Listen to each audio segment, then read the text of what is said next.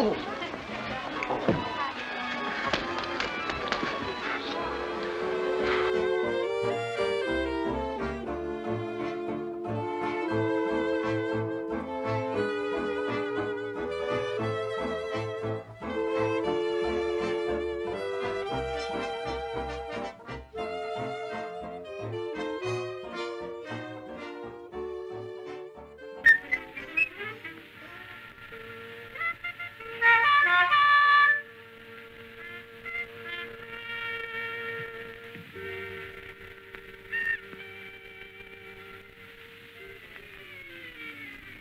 I'm ready.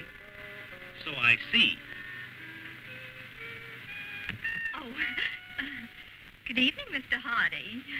Good evening, Mrs. Laurel. Here. You'll have to carry them. I couldn't get them in the suitcase.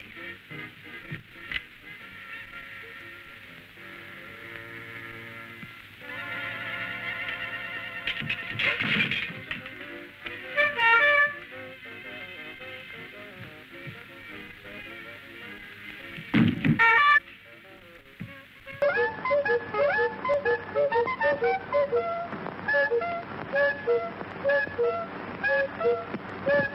you.